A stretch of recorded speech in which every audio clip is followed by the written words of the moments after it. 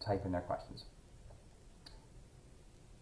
Okay, so welcome back to another Facebook Live. I'm Dr. Guy Cappuccino, plastic surgeon, and today we are talking about breast augmentation. This is going to be a slightly longer talk. I'm going to move rather quickly through all of this material just to get through all of it. And anybody who has any questions can just jump in and ask, but let us begin at the beginning. So an overview of what we're going to be discussing today will be augmentation options for the breast, implant choices. I'm going to have some sample patient photos to show different surgical cases and explain a few details. Then we're going to talk about the surgical options themselves, the procedure and the recovery, frequently asked questions, and possible complications. So when it comes to augmentation or enhancing and adding volume to the breast, there are really only two common options for cosmetic applications, and that would be a breast implant or, as you see in the photograph in the syringes, transferring fat. And that is gaining popularity. Our last Facebook Live talked exclusively about fat transfer options, so please refer back to that video or to our YouTube channel uh, to see more details on fat grafting. But today we're going to focus mainly on breast implants and that surgical procedure. If we were talking about reconstructive options, then there would be tissue-based augmentation options. But for cosmetic applications, we're going to mainly focus today on implants. So let's talk about implant choices. There are currently um, three major types of implants. There are some other uh, lesser used implants, but I'm going to stick to the major implants out there today. And those would be um, a round silicone gel implant. So you see that top one there, and I'm holding one in my hand here. So this is a round silicone gel implant. You can see it's very squishy and squeezy and soft and feels very natural, uh, and also very resistant to deformation, which is important. And then below that, you'll see a shaped silicone gel implant. So this is a shaped implant. You can see as I'm holding it, it's holding a teardrop shape. Also silicone, also soft and squeezy. And then finally in the bottom you'll see a saline filled implant. Uh, this is actually a sizer, um, an expander, not a sizer, but you can see that it's just a silicone shell that has not yet been inflated, and we would put saline in that to fill it up.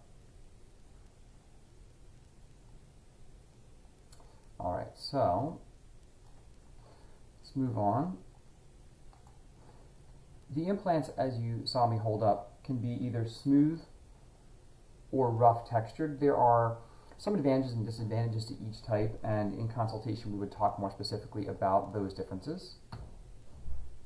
And then implants can be different profiles. So profile, as opposed to volume, um, is basically the width of the implants compared to its height. So a very wide but low height implant would be called um, a moderate or low profile implant. And then if this was a narrower but more projected implant, we would consider that to be a higher profile implant. And that's sort of my job in accordance with what the patient desires to choose an appropriately shape, profile, and size implant. Implants can have various levels of what we call cohesivity or how um, elastic and um, how much the gel holds together in practice, this will manifest as how firm the implant feels. And there are three typical levels. Um, there's level one, which is pretty soft. Uh, this is um, holding a level one implant. So you can see it holds a little bit of a teardrop shape. It's very soft. Level two, uh, it, we're looking right now at um, Allergan's catalog, although I don't uh, necessarily recommend one implant over the other. Um, they have a, a softer slightly firmer, and then a very firm implant. Most people fit in the first two, one of the two softer ones. So let's go over some uh, sample photos of patients of mine, and I can just kind of um, use some examples to show you a few different um, things here. So this is a younger patient in her 20s. Um, she has not yet had children, and so she doesn't have any loss of volume following childbearing, but rather she just has a lack of um, the amount of volume that she wants. And so what you're going to see here is uh, two relatively symmetrical breasts And often people will ask me about uh, cleavage, which we'll talk about later. And as you can see, the implants fill out the breast envelope and make the breasts appear closer to one another. Um, but really, we don't have a lot of control over that. How wide apart the breasts are really um, is a question of patient's anatomy. Let's contrast this one with um, this next patient who uh, is older than her 20s and she has had children and has a little bit of loose skin and a little bit of loss of volume. But overall, good shape. Uh, there's no reason for a lift. Uh, the breasts are set apart slightly wider than the last patient, approximately two centimeters, still well within the range of normal. And when we put implants in, we'll have a more natural, slightly teardrop shaped uh, breast. And the volume is really dependent upon our, our discussion preoperatively. Uh, another example of someone who is thinner and has a little bit of extra skin, uh, starting to get a little bit of sagging of the breast tissue, especially on that right side, but doesn't yet need a lift. Um, as you can see here, I wrote three months after uh, 450 cc silicone implants. Um, the size, the volume isn't critical to the size. We'll talk about that later, but it just is a data point for you. But what I want you to notice here is naturally her breasts are very wide set compared to the other two patients. So although they will appear fuller and uh, closer together, in actuality the width hasn't really changed. And one more example someone who's even thinner yet and has a little bit more excess breast skin, but has lost volume after breastfeeding and is a very thin person. And um, the same size, roughly, implant in this patient, 345 cc's, yields a very natural teardrop shape to her chest, and the implants are um, two to three centimeters apart in terms of intermammary distance. We can look at different angles here. The three-quarter view will show a slightly sloped upper pole, so it doesn't look overly projected or fake. Um, the lateral aspect of the breast is also nicely rounded, and um, nipple projection is right in the middle of the breast, so she didn't have a surgical lift, but the implants did sort of lift the implant, uh, or the chest rather, uh, the breast off the chest. And from the side view, um, again, you can see a much more youthful, rounded, projected breast after the implant. Finally, we're going to look at somebody who did need a, a breast lift. Um, also, a patient in her 30s after having children, um, but just didn't have good shape. And by that, I mean that the nipple was below the native inframammary fold, that her breast. So at one year, um, here we are with implants, but also a lift. Now look at how close together her breasts are set. Uh, they're almost touching, um, but that's again out of my control, just where the breasts sit on the chest wall. If we look from the side view, we'll see the, na the native fold is here, and that nipple complex was pretty low um, compared to where it is afterwards in a more youthful appearing breast. Just going to take a moment to shut my door because I hear some noise in the hallway, and we're going to move on to our next chapter.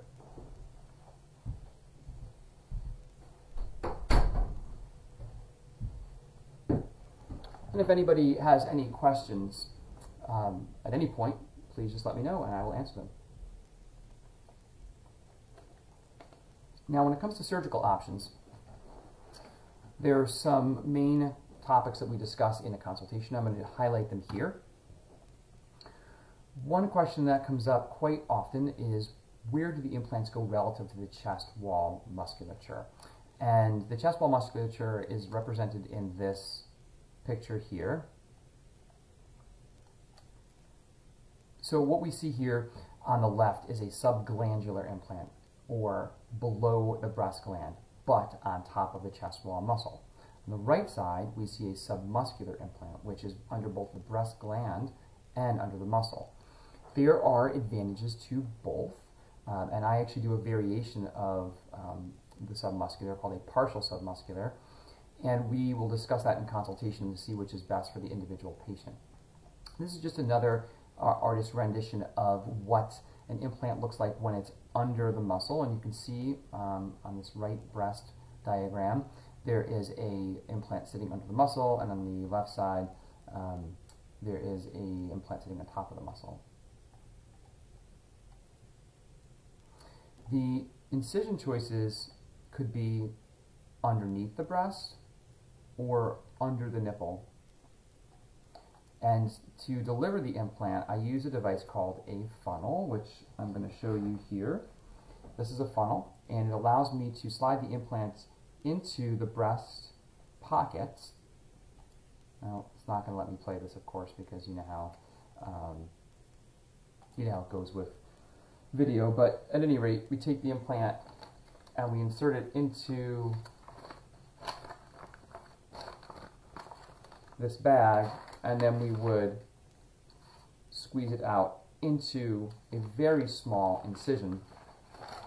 And in doing so, deliver the implant in a very sterile and atraumatic way. Moving on to the next section, which we're going to talk about procedural uh, items and recovery. So preoperatively, pretty easy. Uh, first thing I always tell patients, no smoking. You can't smoke around elective surgery. Uh, really, I'd say a few weeks before and six weeks after because it will interfere with the healing process and increase complications, and there's just no reason to do that with an elective surgery. If we're over 40 or have a family history of breast disease, we would want to get a mammogram, routine lab work, and then I follow something called the ERAS protocol, Enhanced Recovery After Surgery. And this starts preoperatively with a discussion about expectations and how we're going to manage uh, the surgery, the pain, and the postoperative healing. We'll have you fill prescriptions, a one-time dose of gabapentin, Celebrex, and Tylenol, and then we'll go to the day of the procedure. Uh, outpatient surgery, this takes about an hour, uh, give or take 10 minutes. And so preoperatively, we'll do our markings, we'll review the plan and the photos we have. It's general anesthesia, but often um, patients are not intubated. Um, they're just going to be asleep uh, during the whole procedure. And then in addition to that anesthetic, I use nerve blocks. So I'm going to relax the muscle and numb the entire chest wall under ultrasound guidance, which helps not only with postoperative pain, but also intraoperative pain, which will decrease your anesthetic requirements and make for a very smooth wake up. Intraoperatively, I will often use implant sizers. So if we're uncertain of the exact size of the implant that we want, I'll put a sterile reusable sizer in and see how that looks. And if we like the look, we know the exact size. And if we think we have to go larger or smaller, that gives us the option without opening an implant. Once we place the implant, I'll use dissolving stitches to close the incision, and I don't use any drainage tubes. And recovery will be anywhere between half an hour and 45 minutes typically. And then you go home. After surgery, you should expect swelling. Um, that's the thing. So if you want your implant to look like this, after surgery, it's going to look like this because it's going to swell and it's going to swell up. So people often feel like their implants look too high and too large, and this is okay. It will go down. Um, but just, we want you to expect that so you're not surprised. And it's okay to shower the next day in 24 hours. We're going to give you a surgical bra to wear, although you can wear your own. And I don't expect patients to take any narcotic medication after breast augmentation surgery. It's okay to use your arms. I want you to move around. I don't want you to get stiff. I don't want you to feel like you can't move, but no heavy lifting. And all these instructions are explained in great detail and written out for you. Most people return to work one to three days after surgery. And I let people do some light aerobics within two to three weeks. I want you to get your heart rate up, feel good, um, get the lymphatics pumping and draining, um, but I don't let you do any full chest exercises or strenuous lifting for six weeks. And we'll again discuss that in greater detail. So for some frequently asked questions that people will present me with. Number one, what size will I be? Well, this is a good question and a fair question, but not very straightforward to answer. Often patients will tell me they don't even know what bra size or cup they wear, or if they do, they feel it doesn't fit appropriately. And there's no real consensus in standard uh, in the manufacturers that I've seen with bras. So although it's helpful to say, you know, I'm an A, I want to be a B, or I'm a B, I want to be a D, um, we'll use it as a jumping off point. More importantly, we're going to select an implant not only based on your preferences, but also your anatomy to make sure that we have one that fits safely and looks appropriate. And cup size is not directly correlated with breast implant volume because everybody comes with a different amount of native tissue and the way that their skin expands and the size of their frame.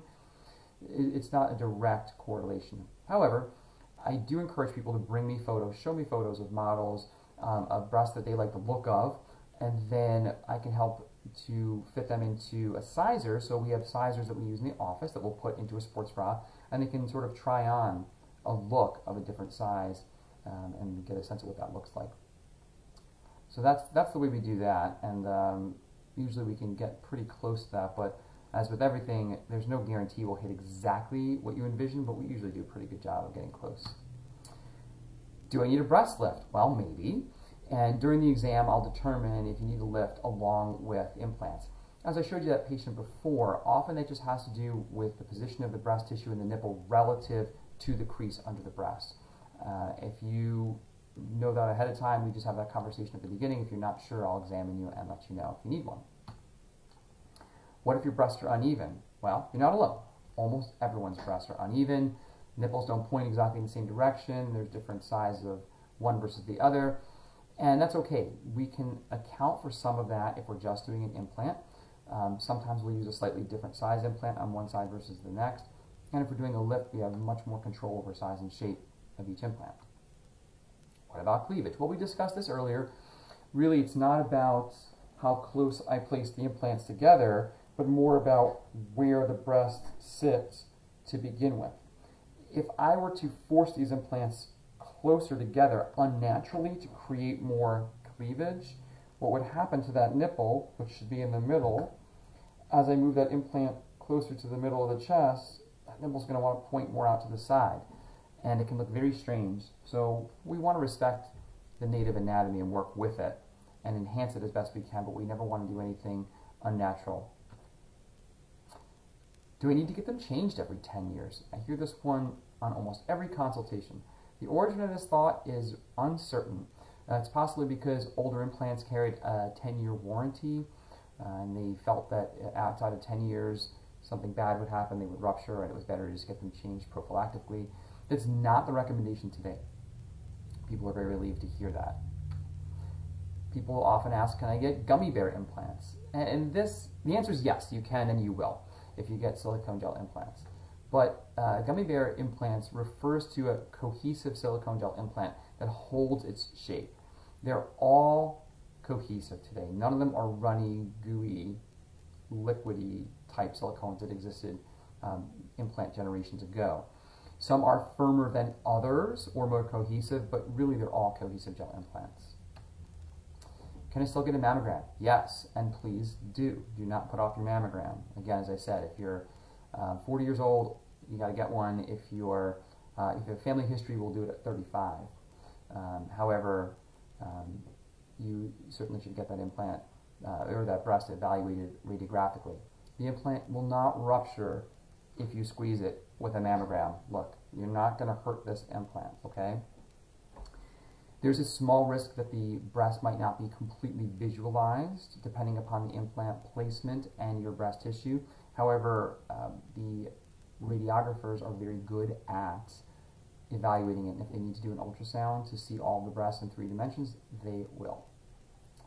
So that's sort of the common FAQ. Now, last but not least, just potential complications. So I've divided this into two slides. General implant complications, and what I mean by general are things that are common to most breast surgeries. So things like pain, typical bleeding, infection, swelling, scarring, all those things can happen. They're not common, but they can happen. Swelling is common, we expect that, but the other ones, they're not typically seen. A hematoma, which is a collection of blood under the skin, or a seroma, a collection of fluid. Asymmetry, well, if you had asymmetry to start with, we're probably going to have some afterwards. Nipple sensation changes, which can be um, temporary, they're often temporary, it can be more or less sensitive for a while, and as the nerves heal and the swelling goes down, that typically comes back to normal. And then the inability to breastfeed, which I have not seen in my practice but has been reported, and the need for more surgery, of course. And finally, um, specific breast implant potential complications. Now, there is an entire packet created by the FDA, which we have here in the office. It's eight pages. I have it laminated, and we do go through it page by page during the consultation process, but they highlight some of the specific uh, potential problems. I will just touch on them here, some of the highlights. So the first one, BIA-ALCL. Um, this is a lymphoma that's associated with breast implants. 99.9% .9 of the time is a textured implant, and most of those offending implants have been removed from the market. Uh, since I don't really use textured implants, I haven't seen a case of this in my career, and it's still pretty rare. It's uh, anywhere between 1 in 3,000 and 1 in 30,000, um, and it would present as a, a, painful, firm implant, so it's something we want to look out for, but uh, very rare. Systemic symptoms, currently the, the hot uh, name for this is breast implant illness. And this is the concept that the very presence of the breast implants causes a number of unrelated um, symptoms that are difficult to uh, determine based upon blood work or radiography. Uh, things like muscle uh, pain, fatigue, appetite changes, weakness, brain fog. There's a number of things. The veracity of the breast implant illness claims is up for debate. Um, there are some people that believe it's not real at all. There are other people that believe it's completely a breast implant related phenomenon. Um, I don't say all or nothing on this. Uh, I will discuss what I know about it with the patient during the consultation and then make sure the patient is comfortable making their own decision based on the data that we currently have, which we have numbers for. Uh, finally, implant rupture, which is pretty rare also, but when it does rupture, oh, I thought I had it with me. Um, you saw a picture of that implant before. Uh, it's not a sticky, ooey, goozy liquid substance. It's a more cohesive gel that sometimes you can't even tell has ruptured. So the only way we'd know is if you got an MRI, um, which I suppose is a good thing that um, implants can rupture and you don't even know it because the gel is so cohesive. And then finally, implant rippling, which would be if you could feel the implant under your skin. Typically a problem with very thin people, often with underfilled saline implants. Implant visibility should never be an issue. If your skin is that thin, uh, then we would have a conversation about whether implants are correct for you at all. And then implants could shift uh, over time uh, due to lack of strength of the tissue and the weight of the implant. And we would talk about that and what we would do to correct it. So that is a complete overview of breast implants, a very high level overview that we did in under 30 minutes. If anybody has any questions before I sign off, I'm happy to answer them. I know we don't have too many people on right now. It is 4 o'clock on a Monday, um, but I'm sure people will go on later and watch this, and they can certainly uh, type in questions, and I will do my best to get back to you and answer them. So, uh, as always, thank you very much for joining me. I hope you learned something, and we'll see you next time.